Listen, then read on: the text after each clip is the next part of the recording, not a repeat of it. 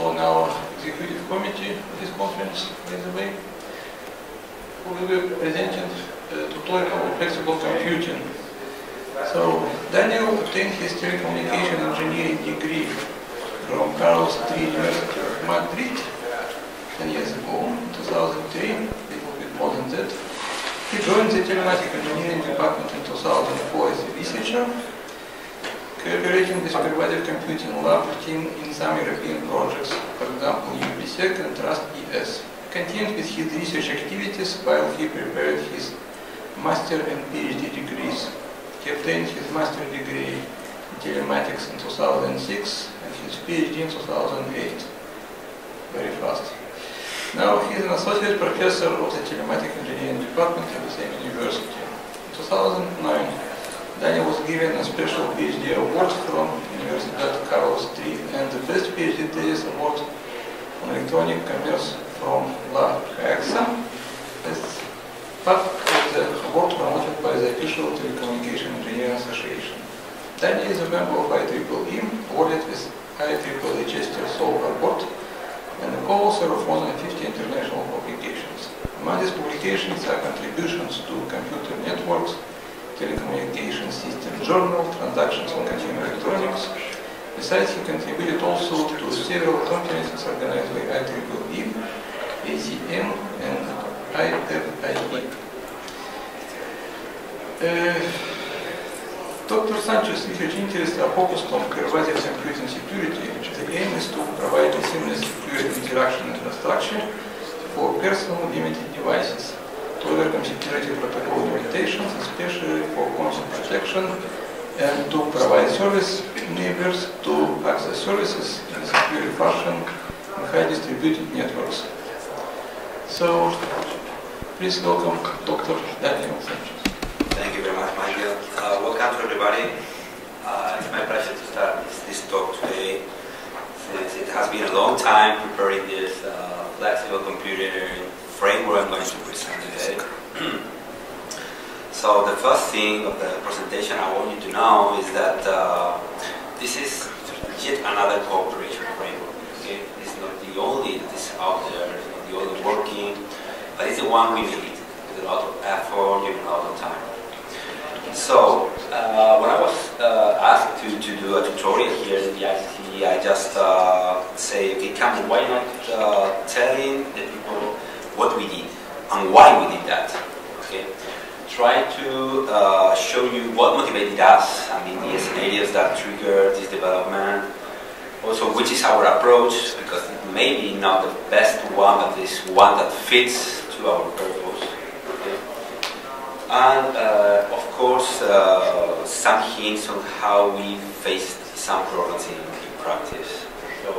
My, my first idea was in principle to bring also a copy of the framework, okay, it's published on the internet, but just a limited version of it, because we have some problems with the copyrights. But I, I, I hope if you are interested and you can make, make a mailing list, I, I will be able to provide this uh, in the near future. Okay, so you can play with it. So this is the outlook of the presentation. I, I would first want to show you why we did that. So it's a small motivation.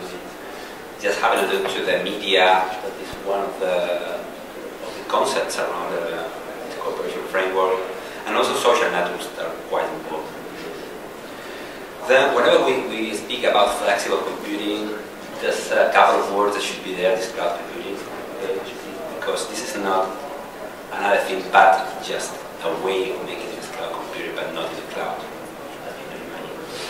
So I will go through the concepts regarding cloud computing, despite you maybe have it really clear, I really want to just uh, focus, I want you to focus on some aspects that are not, uh, let's say, uh, valid for making flexible computing using small, small devices. Then we will have the role of the device in current computing systems and some scenarios, actually those that trigger this Then I will show you the design principles of the lightweight MapReduce system as well as some hints on implementation. I will see uh, one example, working example.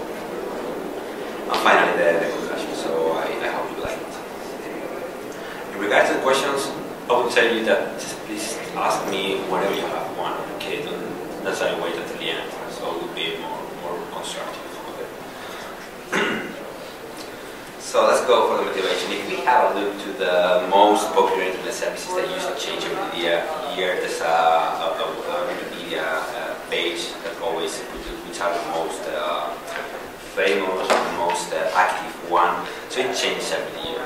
So fortunately, this is a very deep market, very deep research uh, research gap. So it's pretty difficult to be on this list for a long time. However, whenever we have a look to it, we always find some common points, and one of them is social networking, always is present somehow.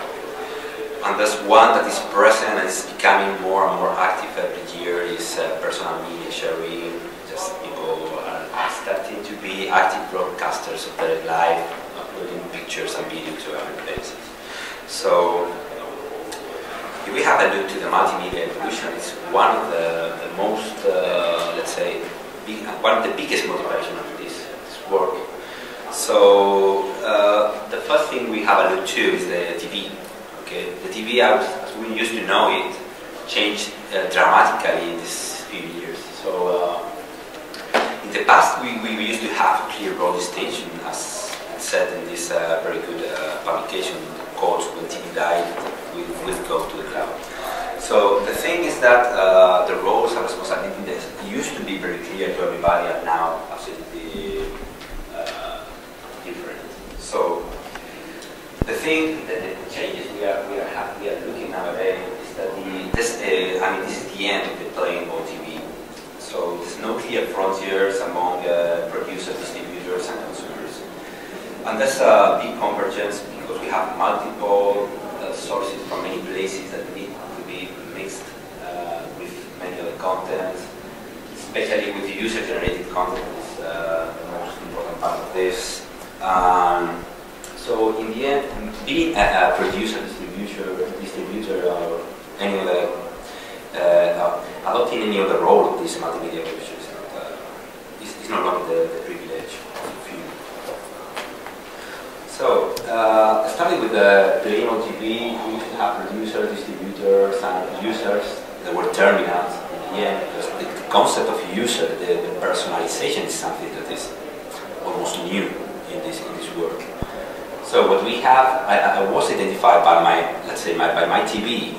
My TV didn't react because I was the one uh, watching the TV. And if anybody is at my side watching TV also, the, the show is going to be the same. Okay, nowadays we have any sort of organization that is uh, used not to be there. With the time, with the hybrid TV or the old-fashioned TV plus IPTV, we started having more and more uh, services. The, the most important part is the users started to be well identified by uh, an STB. An STB that had a subscription with a number, probably a sort of keys, something like that something you will be able to uh, identify as a subscriber, not exactly a user, that is something better than no identification at all. Then we have more services, video on demand, your video on demand, catch-up TV, any other thing. Unfortunately, there were a lot of standardization efforts. Then this moved to a new area of uh, devices in which we used to have a lot of different devices with different factors, uh, screens, and so on. But the good thing is those devices started being personal devices. So it was really easy to know who was the, who is the one watching a given show. Something that uh, was pretty common. So this uh, requires high-close transcoding, support for handhelds, mobile devices, and other things. So this was mostly the and finally, the, the advent of social networking changed everything. So now, now we have a look to this. We have a recirculation of contents from users to producers, from producers to users. So this is the scenario we, with the one we are mixing a lot of different contents, user-generated contents with uh, producer contents and this kind of things.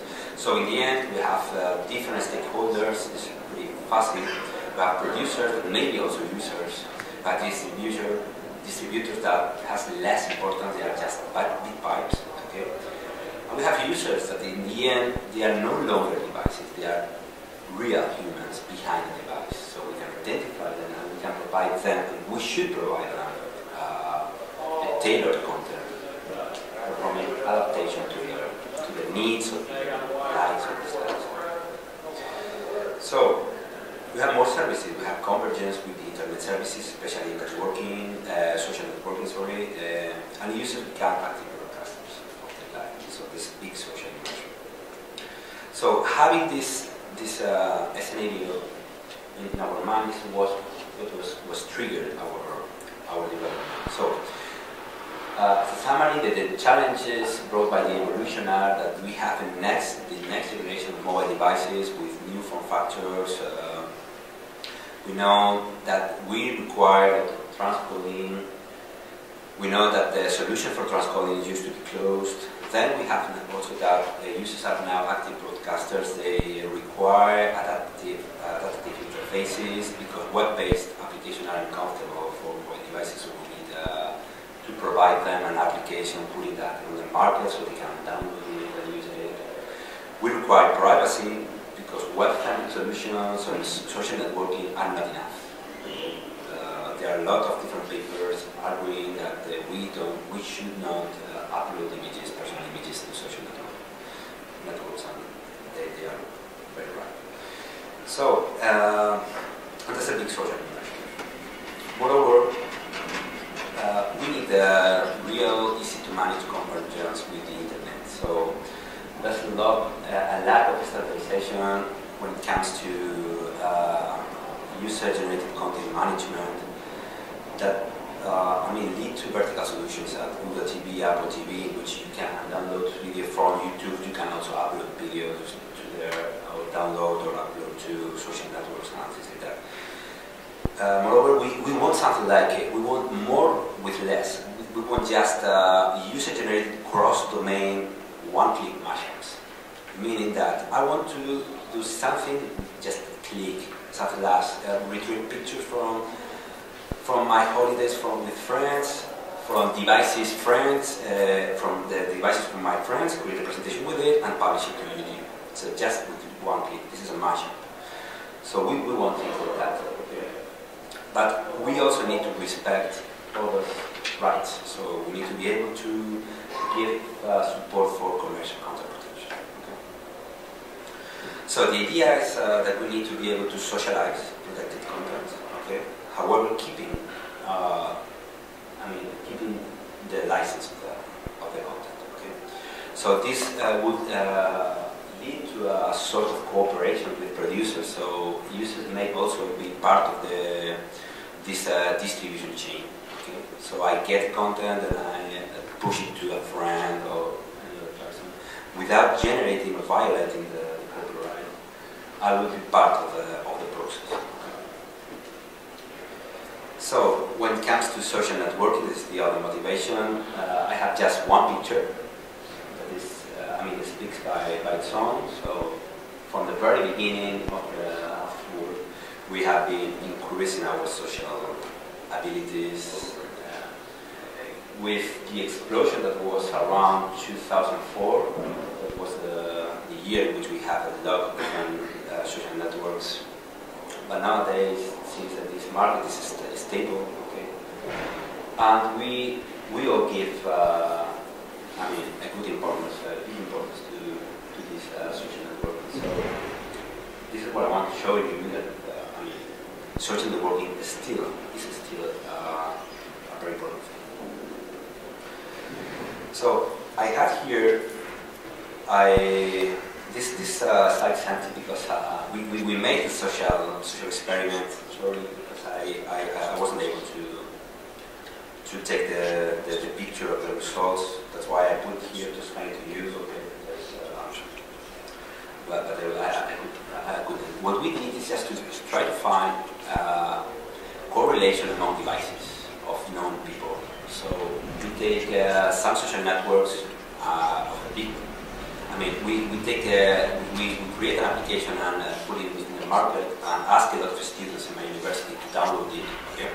And we check the correlation of media inside their devices with the devices of their friends, social networks that belongs to the same university. And the correlation was really big. It was uh, around the 80%. So they used to consume the same media, they used to share the same media. So in the end, social networking is related with uh, the devices, networks somehow, so it's, uh, it's also a good motivation. So, uh, talking about cloud computing, the, the first thing I want to, be aware of is that, uh, is that, uh, that there is a lack of an accepted definition for this cloud computing paradigm.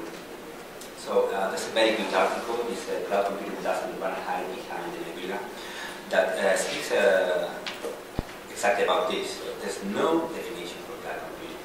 So everybody understands cloud computing on its own. Okay? In any case, it is a very old concept known as computing as utility.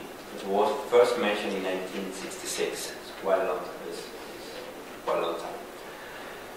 One thing that is clear to me and to everybody is that cloud computing can be used to abstract the state of the underlying infrastructure, reducing so the IT costs or making mean, life easier in terms of programming and deploying a solution.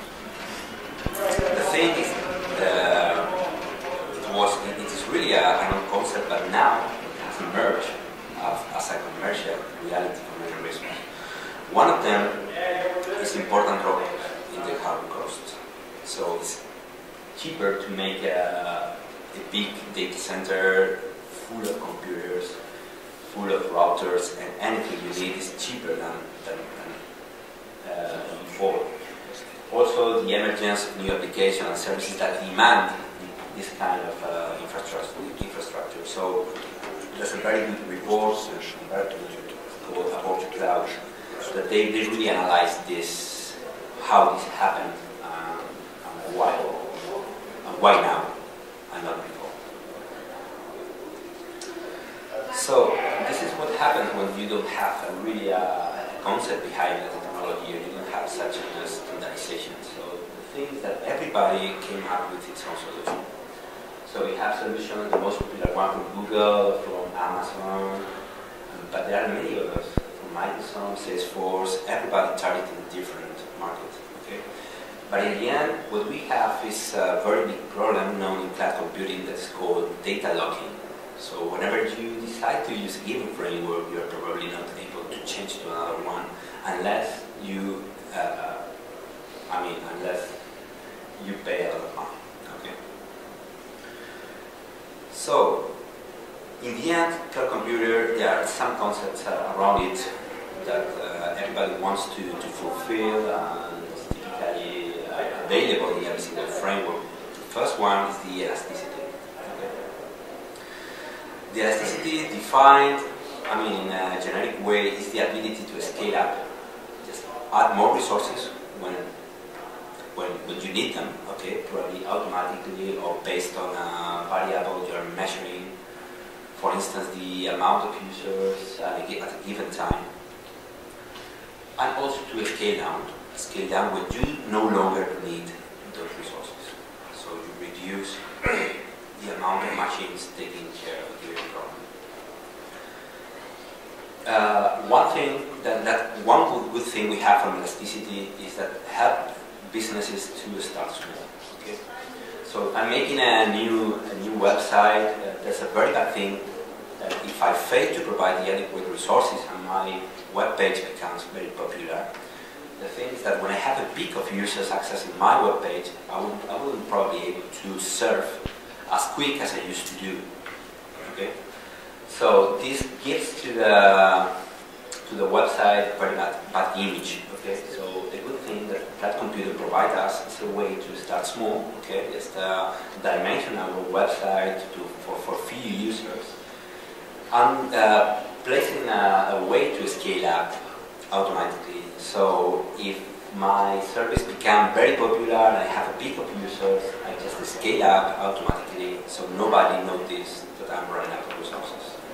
And my website is still uh, happy, still has a good image. Another think that helps to balance the load and also to provide an increase on laboratory per unit in multi-tenant environments. So if I am going to spend a lot of money, millions of machines, I, I would really want to, to use them as much as I can. So this is a good thing I can get from, from cloud computing. Moreover, uh, helps us to, to make flexible business strategies. One of the things that really triggered the, the advent of cloud computing now, not before, is a change from the old static agreement with, for instance, company uh, IBM. I don't know if there's anybody from IBM in the, in the room, but I mean, they, they, have been doing this for a long time, making this, uh, I mean, hosting large applications from third parties in their in their uh, facilities and providing some scalability. Okay? The good thing is that now I can do that uh, in a pay-as-you-go schema. Just I swipe my credit card on a website, and it's the only thing you need to do.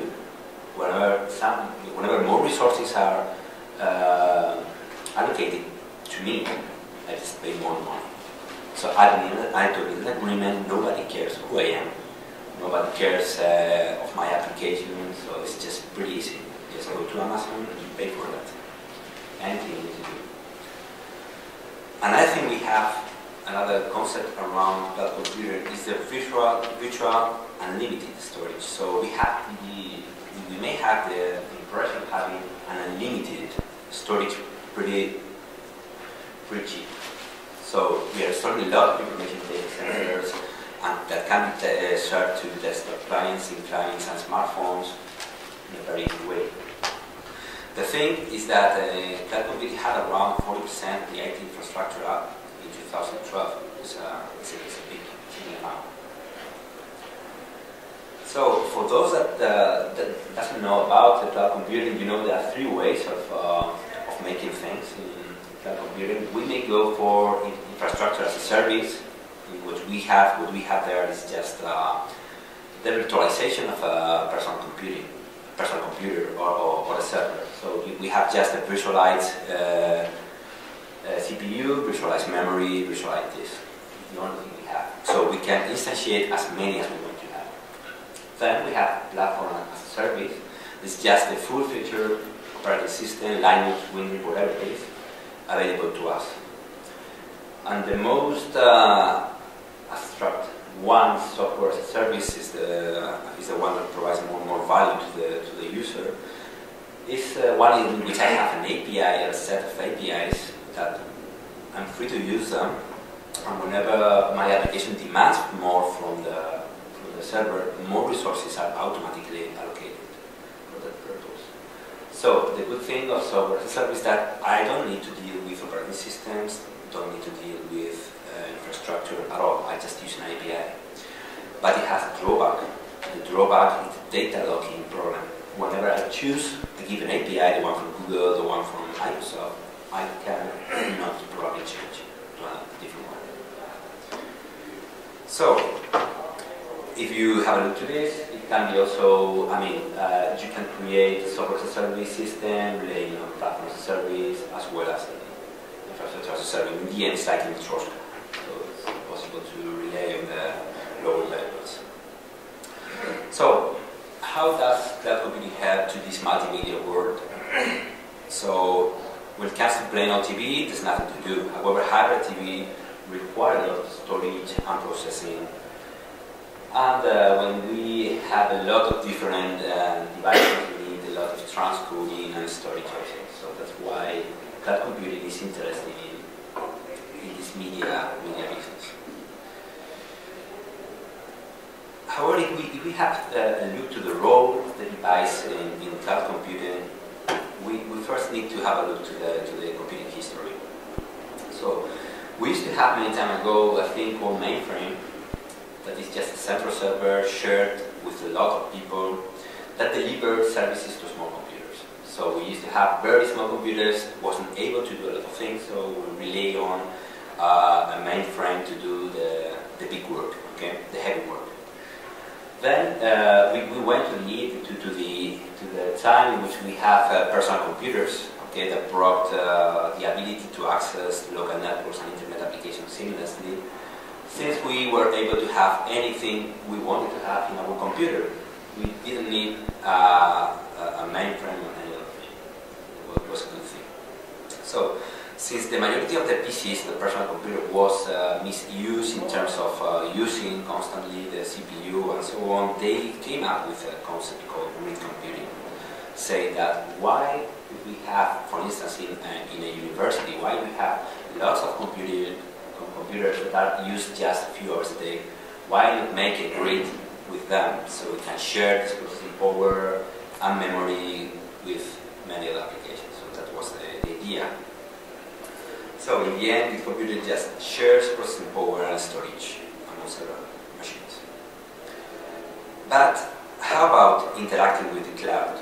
So cloud computing sometimes is said to be an evolution of grid computing, okay? in which the resources are no longer limited to processing power and storage. You can share anything you want to. The thing is that the cloud leads to a concept similar to the mainframe. In the end, the, the client does not participate in the process. It's exactly the thing we used to have. We have a client, maybe a mobile device, a personal computer, to just uh, ask for something to the cloud and then get the result. Okay? So it's exactly the same again, the same concept. So in the end, in cloud computing, we move data to the place in which we can find the. Okay. But that's one problem. We use frequently this uh, cloud computing uh, paradigm. The thing is that WAN cost matter in the end. So uh, there's a lot of people that are uploading their images to cloud computing constantly. So it costs a lot of money in the end. It's WAN cost, uh, processing cost, a lot of things. So if we, if we give a thought to the problem, the thing should be this way. If the outcome of the operation is smaller than the input to the data, the data should be processed However, we use the cloud forever. In other cases, as moving content among personal devices, or this is, uh, we have a lot of different over-the-top services that can be used. The problem should be analyzed in detail. Okay. The thing is that cloud computing was, was designed for large, processing large data sets and the end uh, end up using, I mean, it's, it's, it's uh, used for everything. So there are other worries uh, when we're using cloud computing.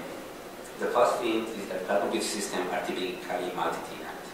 So can anybody see a problem in this?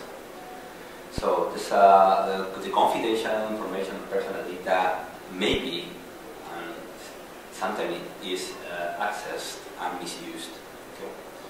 So there's a very good page uh, in Wired, uh, no, I think it's Wired, Wired, and they, they, they find a lot of different hidden APIs from Dropbox. So it was pretty simple to access all those information without even logging into the system.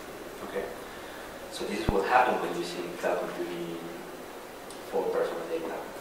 Another thing is the free cloud computing system that there are a lot are provided as is. So it may happen you have an accident accidental data legend, uh, there's a low replication, so something went wrong and you, you, you, uh, you lose your data. And there are multiple hardware failures. That if the cloud computing system is not well designed, probably it's going to be a problem for you also. So, uh, what about if we make our personal devices uh, part of the system. So going back again, so the cloud brings us closer the elastic computing paradigm. However, personal devices act as client in the same way as with the mainframe. Okay? They do not participate in the operation. And the personal data should be transferred to third-party facilities that are distrusted in principle. So there's a privacy problem and high WAN costs. So what about making this refinement we call personal elastic computing or elastic personal computing. So the thing is, why not making our devices part of the, the infrastructure for computing? Okay?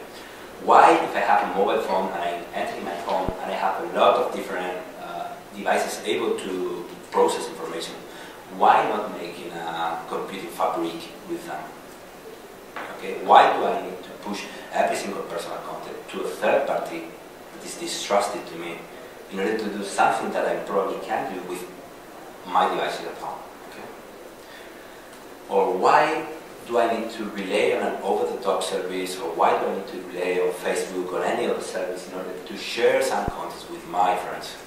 Why do I? Is it technically impossible to do it otherwise? I don't think so. So this is what we are pursuing, to make every device part of a seamlessly made computer fabric. So such elastic personal computing concept provides uh, computing fabric seamlessly, okay? So the personal devices participate in the process. It's able to aggregate near, let's say, environmental resources, things I can find uh, close to me, and it's able to aggregate also non-local resources uh, far away from me that may be personal devices of buddies, friends, family, that they are probably retaining media I like to, I like to access to. What we want is to be able to distribute operations among them, okay? And uh, in order to offload my personal device, to reduce WAN cost, and to keep privacy. This is one of the, the most important topics. So, what I'm going to show you now is the scenarios that uh, trigger the development of the Elastic Personal Computing Framework. Okay. Uh, I must say that uh, the, we, we implemented these scenarios using tailored solutions.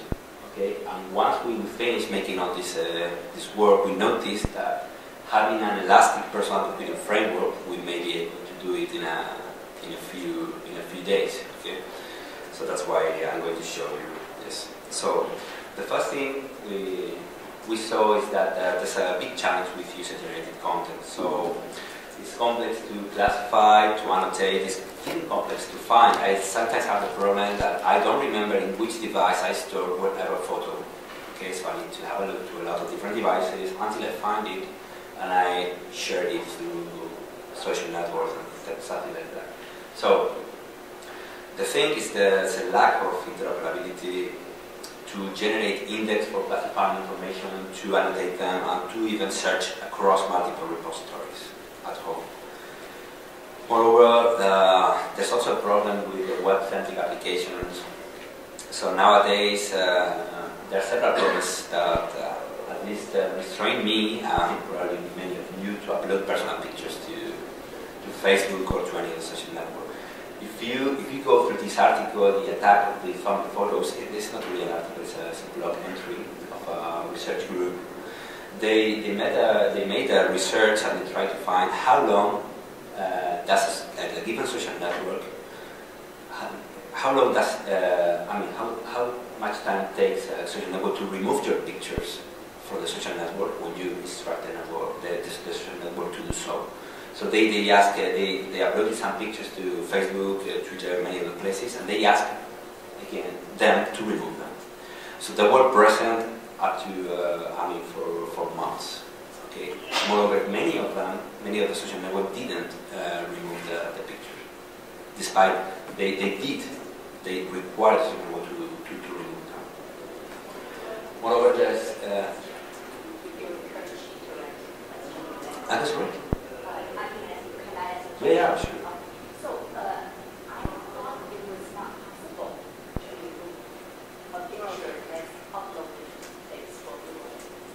Yeah, uh, this is what they, they say also. They say that the, they probably keep them, keep the, the picture forever, okay? But the thing they were measuring is that uh, they, they made it public anyway. Despite I, I, I tell them just remove this, probably it's not in my in the in the feed of my user in Facebook, but if you go through uh, I don't know to the distribution network or any other thing, you can even find uh, that picture again. Is there actually a, is there actually a, uh, need to what you upload? Yeah, I, I, I did it manually. Just saying, okay, remove this image, but I, I, I think there should be something, some API to do that. But in any case, they, they, they don't respect that API. They just keep the picture. So, So you actually did that manually? yeah. So you I- actually went into, Yeah, when I read this, this blog entry, I, I, I, I tried myself to do it, and they did keep the pictures anyway. so that's the video? Yeah, that's the link. The link. It's, it's, a, it's a pretty old, it's pretty old thing. But I mean, uh, they, they, they publish a, a big list, and nobody nobody will remove them. There's no social network that removes your, your pictures. You can even ask for your information to Facebook.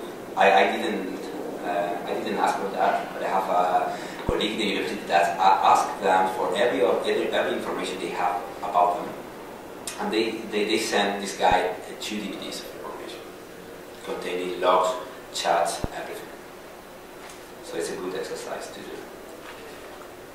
So uh, also the Web3 uh, applications uh, for sharing me media are uh, maybe uh, uncomfortable in terms of uh, they are not ready to cope with a big amount of, of media, pictures, videos, and so on. So it's getting better with HTML5, but it's still a bit uncomfortable. This was actually done in 2009. Yeah, 2009.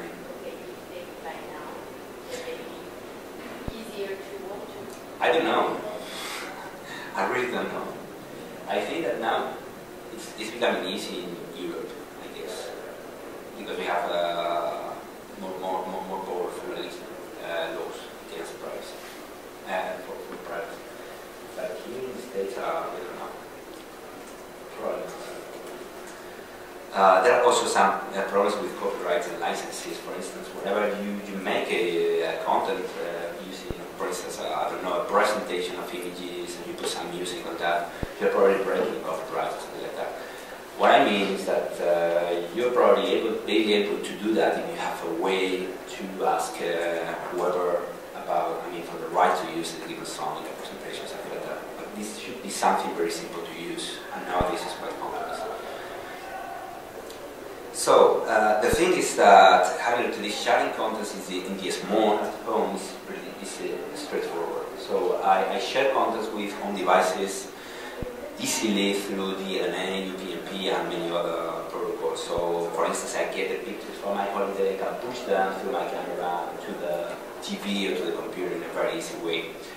However, sharing content with friends is large, so it uh, requires, let's say, it's uh, awful lots of clicking, typing, copying, pasting, and a lot of things and can be dangerous because of exactly that. So if after holidays I want to share my pictures with people, I can do many things. One of them is to upload them to Dropbox, for instance, or many other storage cloud, or just uh, publish them in Facebook. So the thing is that in order to share something, I mean, Bob wants to share something with Alice, just take the pictures, upload them to the to the PC, then to Facebook. So then Alice can go through her PC and download them to, from Facebook. So I really don't think we need this. We can make it uh, other way. So what about if we have a middleware running at every device at home that classifies media, okay, allows searching, uh, even transcoding on the fly. Okay? Something very, very easy to, to have. Just whenever I take a picture, just make an annotation when has been taken, I provide it to, a, to an index for searching, as Google does. Okay? So I can make a search within my home network so I know exactly in which device I can find a given picture. I can retrieve from the given device, I can push it to another device, I can do a lot of things in a very easy way. And it, uh, the thing is, uh, why not managing also commercial content? Be make, uh, for instance, uh, providing a secure download, transport delivery, using something as simple as a family domain. Okay, so any single content protected by license can be used in any of the of the devices at my home, whatever the I it's like the license boundary. Okay, it's very very simple to to do. There are many systems that uh, already already does. For instance, uh, ultraviolet or UVC So it's something that can be used in a very simple way. So what about Next, this is good for my home network, but what about if the devices in the home network constitute an instance or node of a bigger, of a bigger thing? Why not make it a cloud out of every single home network? Okay, a private cloud. So it's like something like a federation. So in such a way, I can just uh, leave my content, my I mean the pictures of my holidays in my network, in my devices, so my grandpa or my friend uh, Alice can access directly to that information because we have federation. This is possible to do. We don't need to rely on an over-the-top service. We don't need to rely on Dropbox and the other thing. We can do that directly in a very easy way. So what we did uh, when we, made this application time, time ago is just uh, we brought this uh, cloud computing for storage to the home environment. So we were able to make a home network federation, okay, for sharing content, only for that. Providing, uh, I mean, a way to federate uh, friend, like-minded people, home networks, constituting the big cloud, okay, just for the purpose of sharing contents. So we were able to provide some services to other members. Uh, small transcoding wasn't very wasn't very very complex. Just a few few things kind of could be could be done. To, to pack some pictures, just uh, I want to take the pictures from whatever places and put it on the zip file, or even uh, make some some some streaming, you know, the wide area network, but it didn't work very well. So the thing is that we just uh, collected uh, metadata and generated this big index, okay, using a technology that allows us to uh, search across multiple repositories.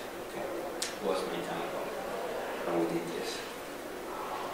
So in such a way, we provided uh, searching services with global scope and ranking, so we were able to find uh, pictures directly in the home network, with a given friend or my family friend network, we were able to uh, transmit to stream this information using DLNA over pipe, okay, over the tunnel. And we were able mostly to handle commercial content, or at least to be aware that content was had, had a license. That was uh, the thing. However, in order to do it correctly, we needed uh, tamper-proof, hardware, and we, we didn't have, had such, uh, such hardware. So in the end, what I want you to have a this is this is not nothing. This is nothing but a social network. It's a cloud with a storage, search, and operation, but that is constituted in the same way as a social network, without breaking the privacy. It's a pretty simple thing to do. Another thing we, we did is, uh, what about when I move out outside my home network and I want to access to my to my content? Okay, so personal devices are limited in the end, so I cannot uh, be part of the cloud when I'm outside because probably I'm going to receive a lot of signaling requesting contents to my device that probably are going to drain my battery. Okay? So, uh, and I will probably find any other way more uh, reliable or more uh, transmit uh, to stream given content. Okay? So what we did is, uh, in the end, to, for instance, when where I, we are at the hotel, we just uh, want to access to our personal content in the, in the cloud, our personal cloud. We use Gateway. Okay, this is one solution we did that we make the request, the traffic request to the gateway. The gateway, the gateway asks to the personal cloud, and then once the gateway gets the content, it delivers through a, probably a most efficient technology, DVB-H or any other thing. So I still have access to my stuff in a reliable way, in an efficient way, without breaking the, the privacy. So I don't need to uh, push a movie to a storage cloud in order to see that movie outside my home. So, uh, however, we faced some concerns when making this nomadic access to personal cloud. Uh, gateway may belong to a, to a network operator, uh, operator or maybe shared, a shared computer. So, where, whereas my, cloud belongs to me and to my trusted people, so the gateway is entrusted anyway, if I'm going to push personal content through it, idea. So, the thing is the nature of the user-generated content is sensitive in the end. So probably pictures from kids or families is a good thing to, to share with a gateway you don't trust. So we, we made a design, uh, I don't have the text here because if not it's going to be a long presentation, that we, we were able to uh, retrieve the content in a secure way and even making this gateway able to uh, transfer the content or to stream the content using the content protection system. Uh, in such a way the gateway wasn't able to know what I was searching or looking for, okay, and what was the content I was streaming through it. So if you have more, if you want to know more, more I, would, I would tell you later. So in the end, the idea is to, to provide an efficient way to access the information from outside this personal cloud, okay? providing adequate security, so the cloud should encrypt information eh, in a compatible way with the transmission technology we are going to use, uh, DVB-H, uh, MBMS, any other thing. So it's, it can be done. So I'm taking my stuff from my own cloud and making a third party to stream it in a secure way. It's a good thing to have. Okay? So we get a good privacy, okay? Because the cloud is, cloud is obfuscating search results and anything, so nobody knows what I'm looking for. So, uh, what about uh, using our personal cloud to share images, videos, and personal things through a social network? Can be, can be done? Yes, it can be. So, the thing is that the application you know are commonly linked to social networks. So again, it's a big concern about using this uh, social network for user-generated content. One thing that really triggered this process, this project, because was part of uh, something. I mean, somebody required us to do this because there's a the, there's a, a, big problem with the protection of minors in, in Facebook and in other social networks. So the thing is that minors may be uploading uh, pictures to social networks. Since they are not going to remove them, even if you ask them to do so, we, we have a big problem. Okay. So uh, what we did is to make a, to make up this media cloud, this personal media cloud, so our private cloud, uh, a private storage for social networking. Okay. So what we do is what we did is a, is a following. We made some uh, plugins for for many different browsers, Google Chrome, and also for uh, I guess for Internet Explorer. Okay. So the thing is that uh, you were able to take a picture, okay, that was stored in your media cloud, in the cloud you're sharing with your family and friends. Okay. So uh, if you want to share this image with uh, your, your, your friends, just uh, what you do is to upload a, a, fake, okay, to the social network. A fake is just a picture, probably with no content or something, but has some embedded metadata, okay, or probably using steganography, you place the link to the media cloud node in which it's located. And that media cloud node is private, so you are not really uploading your picture to the social network. However, nobody noticed when a, when a friend of you access to the social network, the plugin that is inside his browser automatically takes a picture from the private cloud and replace the one taken from Facebook with that picture. So it's seamless. You upload the picture as any other picture, but the picture really is really located in your network. Nobody knows about it. So the, I mean, the, the, traffic of the social network is in a different layer and it's the traffic of the private cloud. So it's a very good way to, to obfuscate your information using the power of the social network to share your data with others, okay? but without breaking your, your privacy. So uh, then we went, uh, we, we started making some phishing transcoding projects uh, in which uh, we, we needed to make a lot of videos for different form factors and resolutions. So what we did is to, I mean, to, to use the cloud to provide a, a lot of different versions of content, okay, using MapReduce. I, I will tell you about that later. So uh, the thing that we, we found some challenges, so transcoding uh, requires a lot of processing power. Okay, uh, nowadays it's, it's, I mean it's, it's, able to make some sort of transcoding using a mobile phone.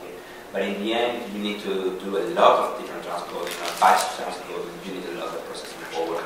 And the idea was to distribute this using cloud. Okay, in two ways. One was to use a provided cloud to make uh, tailored versions to uh, be distributed through through uh, I mean user, to, to users. Another one was to uh, allow users to make their own versions of the protected content and load them back to the, to So uh, that there are many many solutions that are closed, are private. So there's no no way to to instantiate that in a different place. So We found a good one, it's called a split merge, that fragments the video in many more pieces and distributes the load, the workload among many different computers.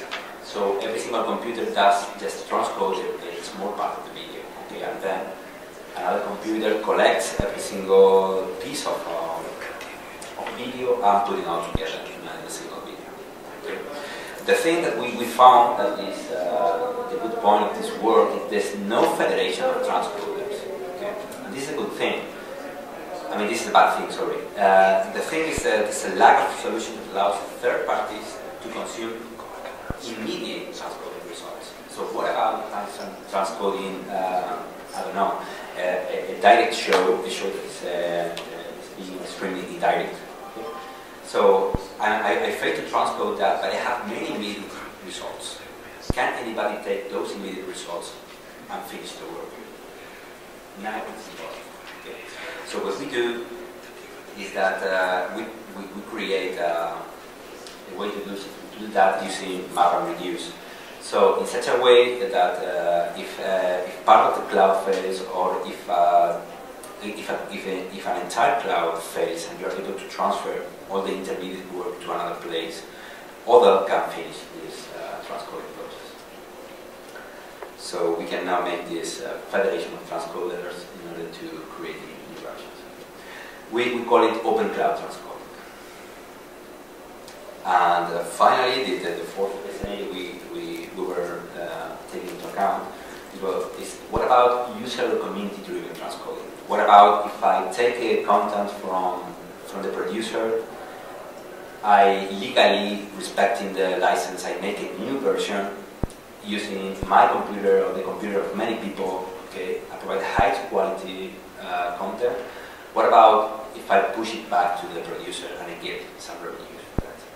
Some points for buying new content and So it's pretty simple. So I'm offloading the provider, uh, the provider network, I'm making my own version for whatever device, and I'm sharing that legally other people. So, so the thing, these are the the four scenarios that, that trigger this design. The thing is that when we when we made this, uh, we we use uh, tailored solutions. We start from the beginning making all the work. And in the end, we will notice that something, uh, if, we, if, we, if we had a framework for that, we may have, uh, I mean, it may have been easy to, to, to, to, do. So that's why we, we make this lightweight MapReduce framework. So the thing is, is that having in mind these, um, these scenarios, so what do we want to have?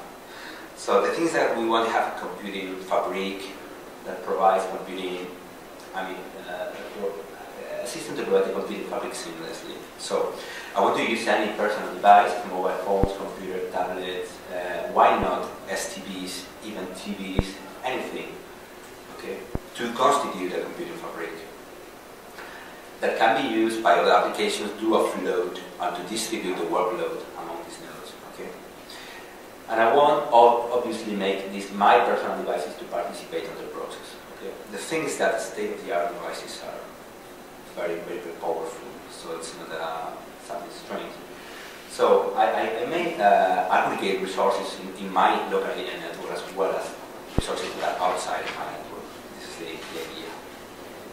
So how to do this? So first of all, uh, I want some sort of data management. So if we have a look to the, I mean, we, we remember what we were discussing in the beginning, uh, distributed operation involves software, the software I'm going to use, and the data set over which uh, this operation should be performed.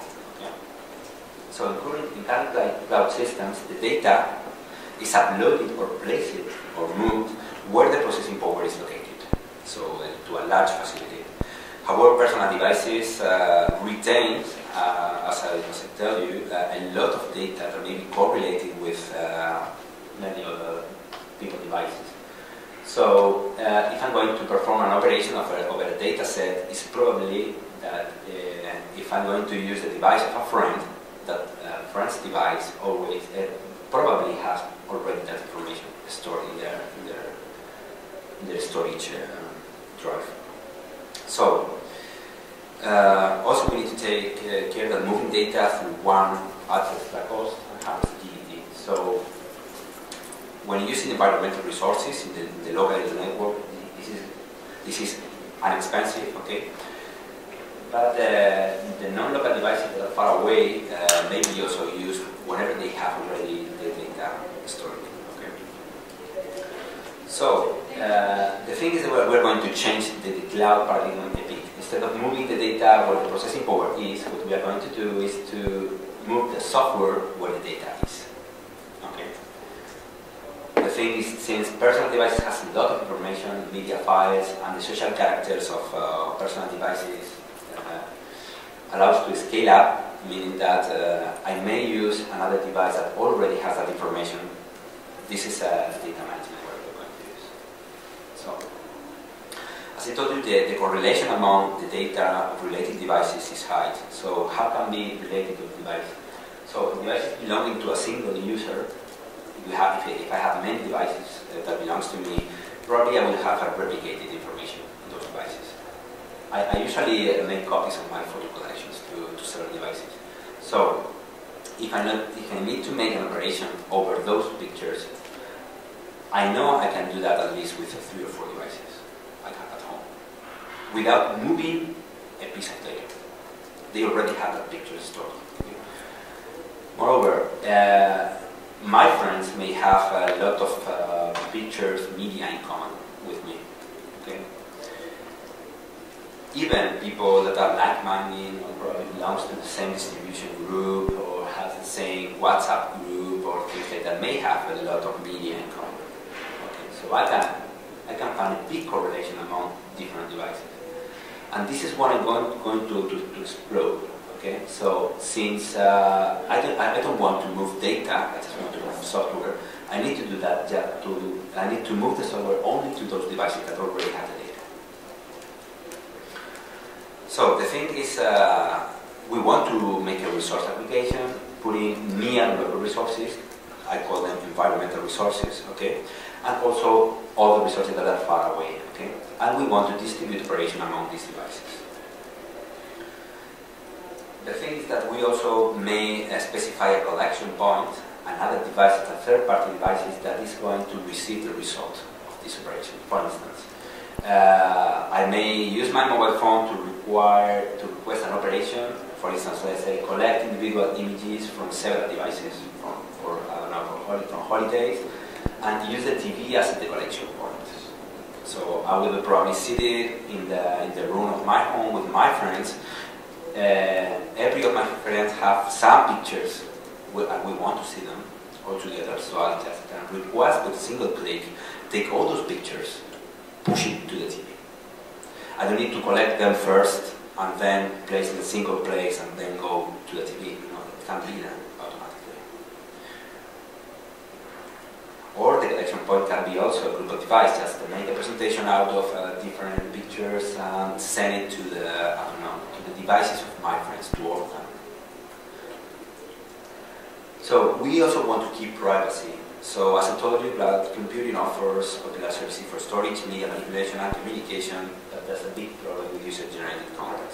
The first one, general services are provided under a common uh, type of service. Okay, and rarely, rarely users read this, uh, the service level agreement or I mean, the privacy problems you may have using the social network. Nobody reads that.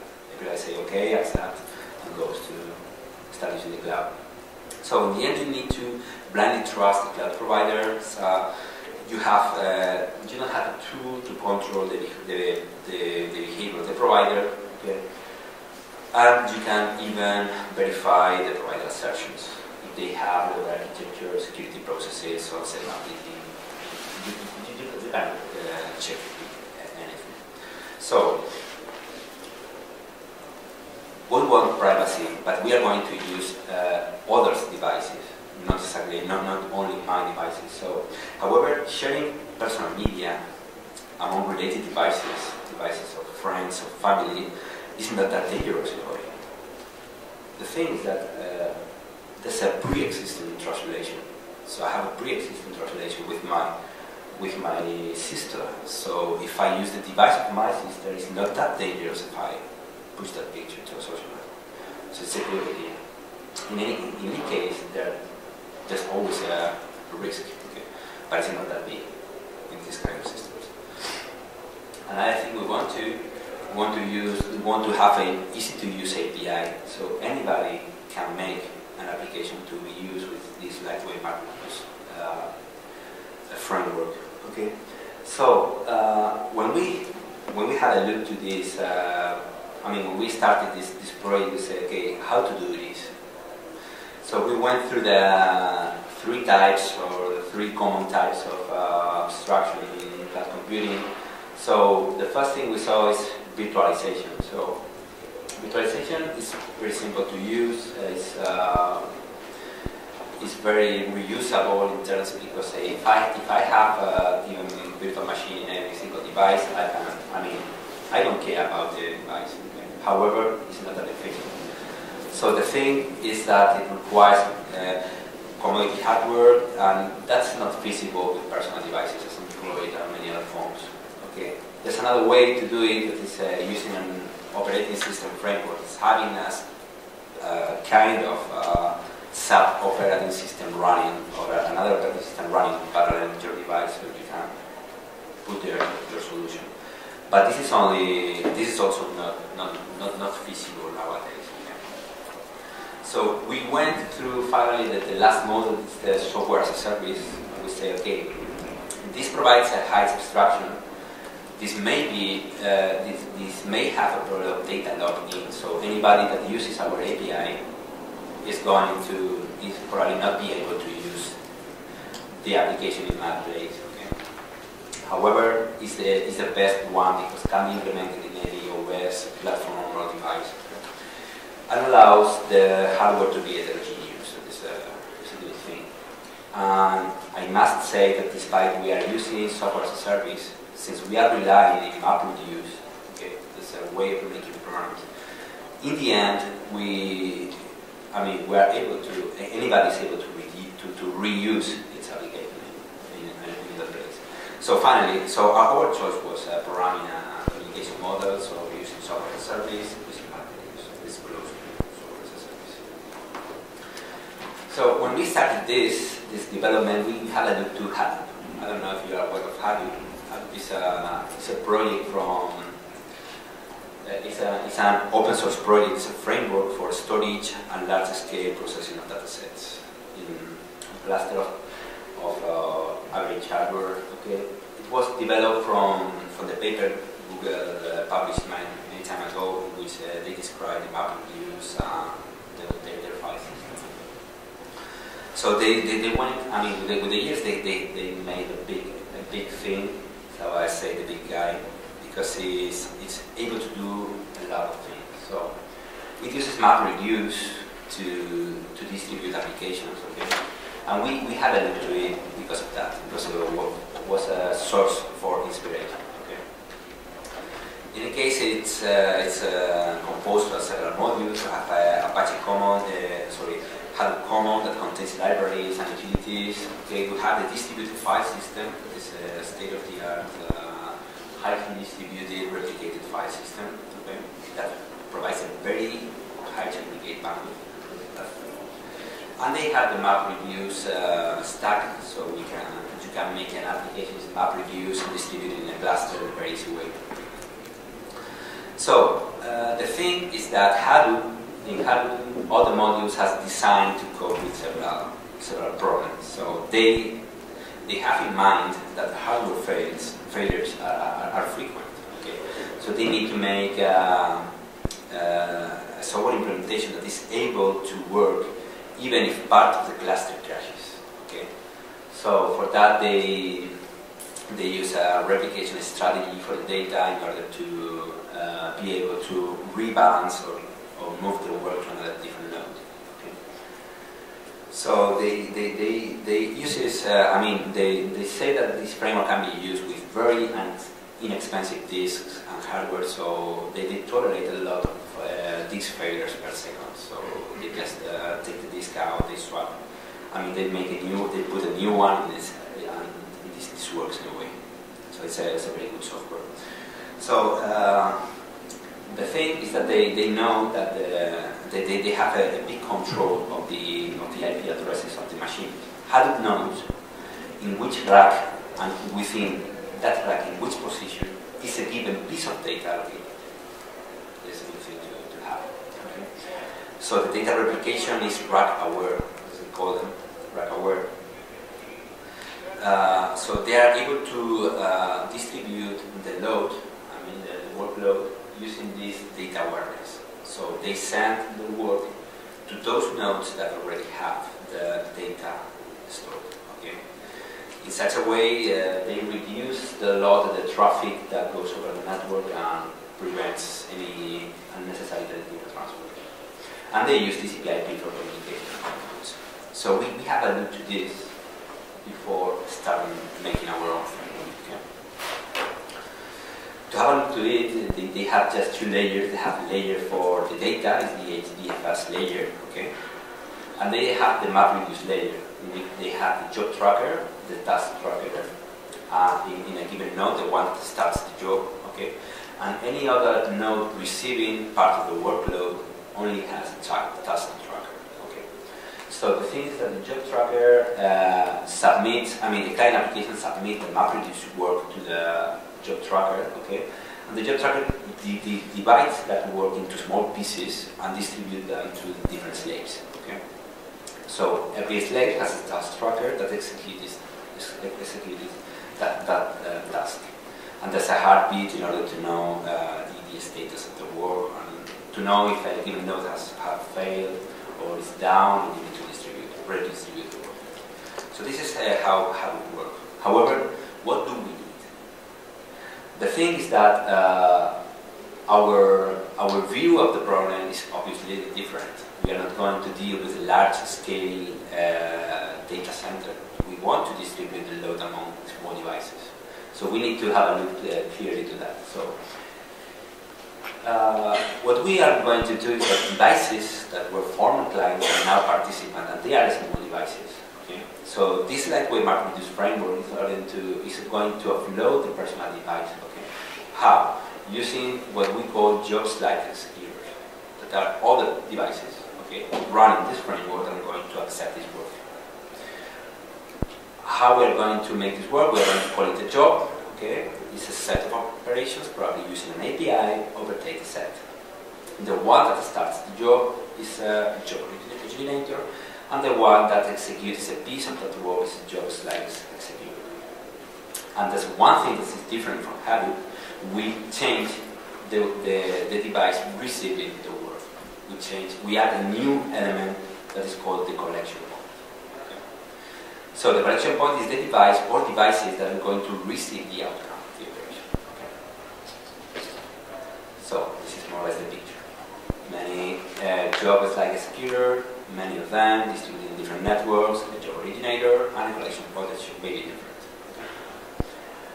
So uh, having that in mind and knowing how uh, how it works, okay, we uh, follow this design principle. So the, the, the, the, difference with Hadoop is that uh, the job slice executors, in our case, can move, can change their location, can change the connectivity of their IP.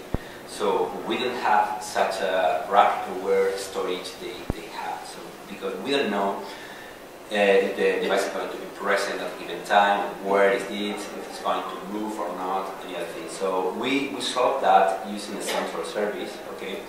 Like, uh, I don't know, like many of the messaging services as uh, WhatsApp, you know, thing in which uh, you can check for for your your, your buddies uh, using central server. So the thing is that uh, we use a server in which every single node can check it. The thing is uh, a node, a mobile phone, a computer, laptop, whatever, checking checks in in the central server whenever it starts the lightweight MapReduce service when this service is starting, but you change the network address, okay? And these uh, devices are registered with the phone number, the email, the Facebook account, and the Google account. Why? Because imagine that you have an application that is dealing with, uh, I don't know, Facebook, uh, with, with, Facebook people, okay? Or you're going to make a media operation that maybe uh, the people you have on Facebook is going to be interested, okay? So the idea is that you make a search for available nodes using your Facebook account. Because uh, you will probably uh, find more devices containing the media over the ones you're going to make this operation if you go if you use the Facebook, the Facebook profile instead of using another profile. So the thing is that to, we try to uh, make some sort of clustering with your uh, possible nodes. So using this central service, a device can find the trusted nodes in a, as in a social network. Okay. Then we're going to change, I mean, we're going to implement the data node in a different way as, as Hadoop. Okay. So every device running the, this framework is going to have uh, an implementation of the data node. In the case of Hadoop, uh, there's just one data node. Okay.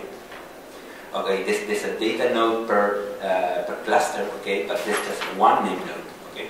We're going to put everything together. The name node and the data node, that used to be that way in Hadoop, we are going to combine them into a, into a single thing we are going to call it data node, okay. Since every single device is able to start or to receive part of the work, okay, we need to put them together. So we're going to have just one of these work. Uh, this uh, data node provides data splits or pieces of data, okay, to other components within the node, and accepts also queries from outside, from other devices, to find out if a given device contains a piece of data over, one over which uh, make an operation. So it's possible to split the data, to save data using files, using the collections of split, okay, or using file plus split reference, for instance. I have a video file, and what I have is a split reference, just uh, telling that this split, this part of the, of the data, is just from the minute 1 to minute 5. Okay? So I don't need to break physically the file, I just put a reference. And you can also have a file, for instance, video file, and a set or a collection of references. So one per, uh, from one uh, key frame to another key frame, using references. So uh, why having these uh, different storage mechanisms? So think about text file. Okay, you have a text file, you can divide it into individual bytes, right? You can divide it in an, in arrays of regions of information, an array of bytes, but you can split it using letters. Okay, as many as, as you have, you can use words. You can use it, you can split it using lines or even paragraphs. Okay, so why having a lot of different ways to uh, split the information? Because it depends on the application. Really depends on the application. So if you are going to, to count words, the words of a text, it would be better to divide the text into word into words first, okay, rather than uh, in bytes or any other thing. Okay, so this way of uh, splitting data before distributing the workload is uh, application specific. That's why we support a lot of different ways to do that. So the job driver node uh, takes the appropriate nodes and, uh, and pushes the, the work to, them. Send the, the, job to slices. monitors. So for communication, we use it. Uh, Hadoop uh, uses uh, raw TCP/IP. What we are we are using HTTP. We're using different ports and virtual hosts, alternatively, alternatively, sorry, in order to distinguish different uh, instances inside a given node. So the, the, the data node, the job tracker, the job site is given. So for the communication, every message may contain, as I mentioned, the message that may contain a host header for the vHost and vHost support, custom headers, a simple payload that is just a JSON uh, containing the command, the parameters, and a request identifier uh, using the RFC 412. But it also, but it also uh, may contain complex payload whenever you need to move part of the data or just uh, the, the, software. You can have JSON payload, data slices, and package. Everything, everything is HTTP response. When it comes to security, we are using authentication, authorization based in claims, set of claims, attribute and value, using, and we push that using a modified TLS version. To enforce privacy, uh, we are using a technology called Pervasive Trust Management Manager that uh, gives uh, trust values to devices. So, depending on the, uh, the operation you're going to, to make over a given data set, you may require given trust value to, to be done. So that's why we, we use this. Sorry if I go a bit uh, quick over this because uh, we're running out of time. So how are device grouped to make a, a, a distributed, distributed job? So we have two different attributes. One is the affinity that measures the probability of the node to accept a job based on a previous history. Okay? It measures the correlation among devices for comparison okay, and is stable in time. And the availability that measures how available is the device uh, is provided directly uh, to the job originator or using the central service. Okay, I can update my availability and my battery or anything. This parameter changes frequently. So depending on these two, the affinity and availability, I may select a node or a set of nodes in order to perform a distributed application. So this is the architecture of the system. We have a job manager, uh, also called sometimes job tracker, okay, that distributes the load among uh, different nodes, okay.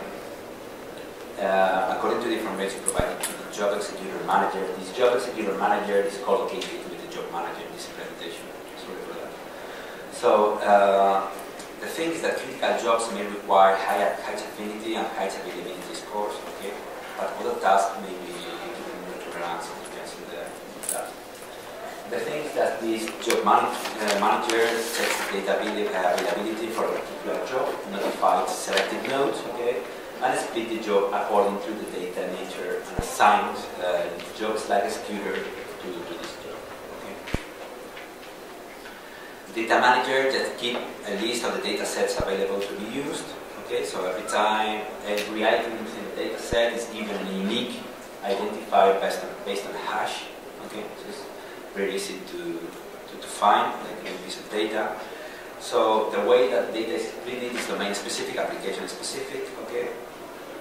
Then we have the job slice executor manager that keeps a list of candidate uh, GSE nodes in order to be used to, to distribute the workload. Okay. Uh, this job slice executor again in this implementation is co-located with. And a job slice executor that just execute the job slice. Better. So just uh, some details on the implementation. We implemented that in, implemented that in Android. Uh, is the using these three versions can be is available for gingerbread, ice cream sandwich, and KitKat. Okay, you can use it. The communication is using HTTP, using JSON, and we have several built-in APIs you can use for many works. One is for text, it's pretty simple. It's just it's just an um, experiment uh, for counting words, counting letters, or things like that. Uh, some for mathematics to perform mathematical calculations over a set of nodes. It's pretty, it's pretty funny to see many Android phones trying to, to find uh, prime numbers or things like that. Uh, and one we work to work with contacts. Just uh, something like, uh, do you know uh, which is the owner of this mobile phone? So you just uh, send around to your devices or to the devices of your friends uh, number and they answer you back with the name of the person. But the, the powerful part is that we have support for custom custom applications. So whenever you follow an API, you can make your own application distributed using Dalvik executable. So uh, this is more or less the, the, the diagram is pretty simple. Whenever you have a job that you have an input split, it's the way you uh, you break data into small pieces. Okay, you have a way to assign map, uh, assign map keys and map uh, values, also the reduce keys and the reduce values. And then the only thing you need to make is to create your job, to create a mapper, a reducer, a record reader that assigns uh, a map and a key value to a given split, a given part of the data. Okay, and then you have the input splitter that takes physically the data and make it uh, pieces. Okay, and finally the collector point is the one getting the, the result. As you saw, uh, every single uh, item inside the, the, the, node, the job tracker, the data node, and the job slice executor is nothing but a, an HTTP server that accepts uh, queries, accepts uh, requests, and sends responses. Uh, just uh, have a look. Uh, if you know anything about Hadoop, this is more or less the same API. So any application you make for Hadoop, you can do it. You can use it in your mobile phone. Okay. We followed uh, more or less the same, exactly the same API. So it's pretty simple to find uh, an open source application that do whatever uh, operation over a given data and use it with your mobile phone. So as I told you, uh, the APIs we have, uh, we have several splitting tools. We are able to, I mean, we can have a text splitter, we have a word splitter, line splitter, image splitter that, uh, I mean, uh, breaks the image into regions, okay? Another one for video, another one for video interval that uh, makes pieces of a given video using, I mean, from one keyframe to the next keyframe. So you're able to break the video in, in small pieces, significant pieces, because you are doing that from one keyframe to the, to the next and distribute this to the, to the rest. And um, has several APIs, just as I told you, the, for text tools, mathematics, and So, whenever, I mean, if you want to make your, uh, your application in a way, you can relay of anything contained inside the Android virtual machine. That is called that, uh, that big machine. The only thing you need to do is just to make uh, your own jar, your own application, create a test. You get text using a command that is present in every single Android SDK. It's as simple as this.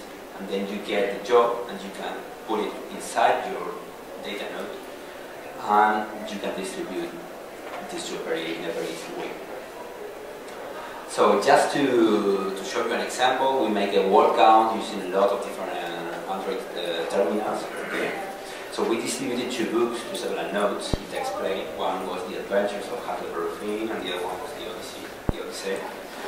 So uh, we distribute that. The data node added uh, these uh, two books to, to all the databases, and we make we build a map application in order to count the words. Okay. So uh, the job manager selects among the available nodes those that has already that contains the book inside their storage. Okay.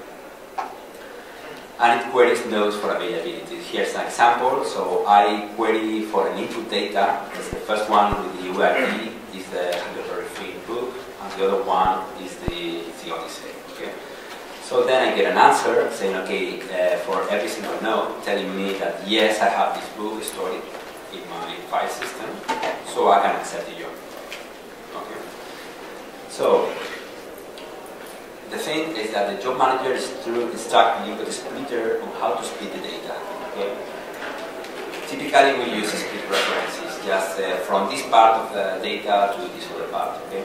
So we use a text file splitter, uh, splitter that, uh, I mean, instead of using words and the other thing, we just made splits of 80, 80 characters. Then we, we uh, distributed the work and it was executed.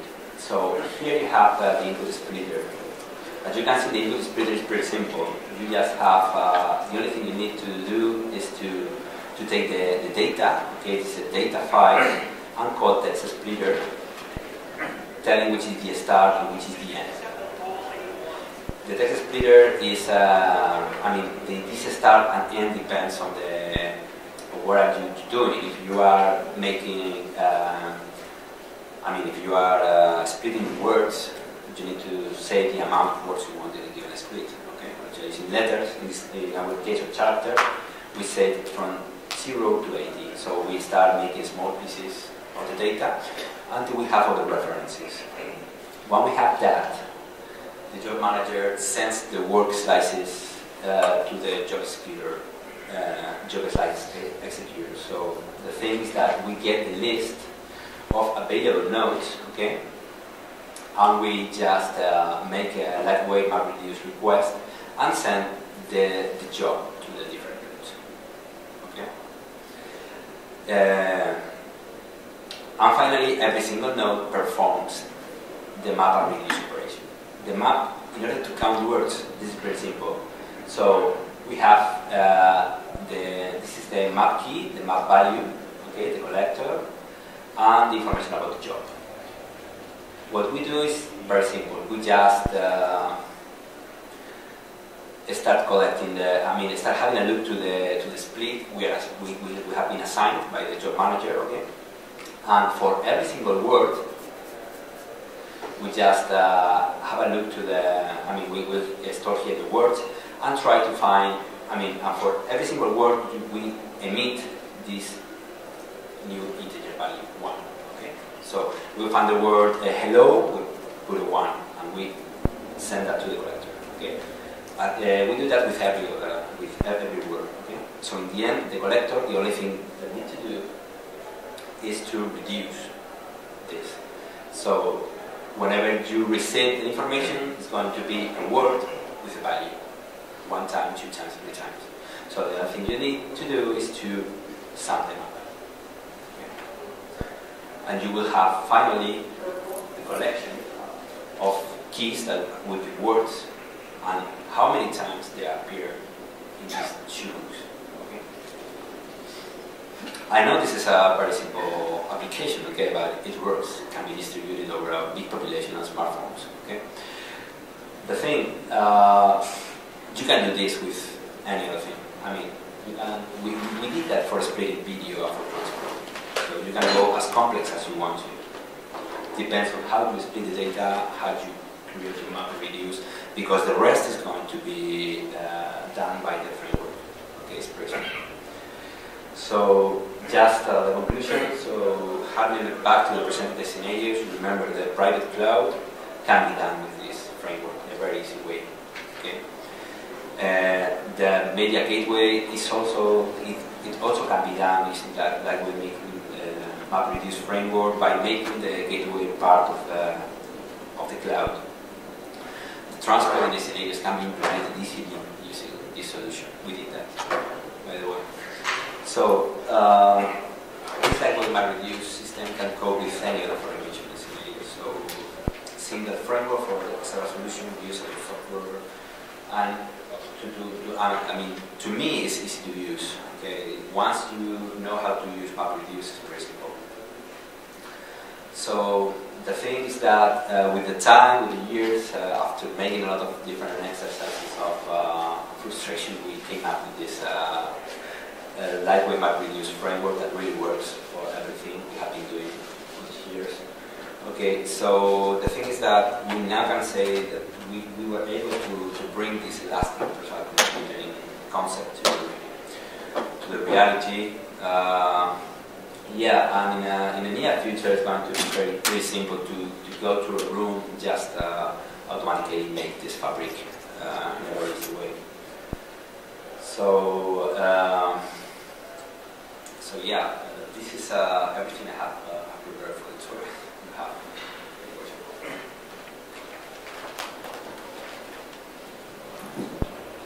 I would like to thank uh, Daniel for his interesting uh, tutorial. Uh, are there any questions to ask? Please go ahead. Uh, can, can you give some historical context to perhaps some of the origins of this or connections of this work to things like open source BitTorrent? uh, to BitTorrent, the difference between peer-to-peer applications. Yeah, that's exactly the same. The, the thing uh, is that uh, this is more, let's say, more close to social network in terms of, I mean, the nodes inside a BitTorrent uh, network are plain. So, yes, uh, they are not going to contain all of them the same content, that's right. Okay. However, uh, we are talking about the same. The thing is that uh, what I'm going to, to work with here is of linear, including user-generated content. So yes, absolutely, you can distribute your content using peer-to-peer applications. However, this is more, let's say, it's more opportunistic. Uh, I do want to share with whatever person that I, I know pretty well who is this guy, or I want to make a fabric with people that I already know. So that's why we register the Facebook, uh, any social network profile can be present on the device. We register that also to the thing is that we may have a different profile for the different applications, so we make a selection, uh, um, a fine-grained selection of different nodes. It's not just uh, having a, a, big network as we have in, in Torres. However, the, the, protocol for uh, data can be obviously used. So it, it seems as though this is much more uh, user-specific as opposed to, um, cloud-based. Yeah, I mean, we, we rely on that because, I mean, in, in the end, we don't have uh, really uh, the, the need of distributing uh, media, okay? Can be used for that, okay? But the thing we want to distribute an operation of uh, nodes that may already have the data. Have the concept of a trusted user, basically, if your system Yeah. theirs much more. Yeah, the thing is that we, I mean, it's, it's probably being more, more, more trusted a device from a friend than uh, any other device. However, even in that case, we have this uh, pervasive trust manager that also, there's one thing that uh, monitors that is uh, how are you behaving with your own devices? Are you applying the patches? Are you, I mean, are you starting the last uh, update? Any other thing?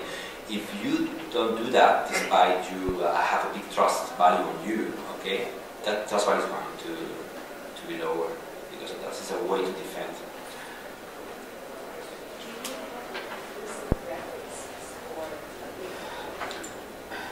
Uh, I don't have them, but I can. I, I can provide them. I, I will send that to to Stu, so he he may probably distribute it to the to the people. Also, uh, if, if you don't deviate from, uh, um, how much overhead do you actually incur? Uh, compared to Hadoop, mean? Yeah, we have a big overhead compared to Hadoop. I, I s- I saw you do, uh, you know, you did a lot of, uh, a lot of work. So I'm just trying to figure out how substantial it is if you say, um, you did point out differences. in Yeah. Overhead and all that. So what, how do you, how do you, uh, how do you measure? it? Yeah, the thing, uh, the, the overhead, I mean, I didn't measure it physically, I mean, uh, uh, quantitative, let's say. But uh, the thing is that uh, Hadoop knows in which rack and which IP has every single node. So uh, Hadoop knows also, I mean, uh, if you want to work with a given piece of data, which are exactly the nodes that already have that data inside it. So they have a, a throughput that is uh, absolutely unbeatable. So because of that, because they, they, they use a storage that is rack aware. The thing is that uh, we cannot go for rack aware uh, storage because uh, we don't know if the mobile phone is going to move. However, a good experiment, um, I, I write it down for the next time, would be precisely that, to try to use Hadoop without this aware uh, file system simulating something like this scenario. Probably we, we, can, we can see the difference. Yeah.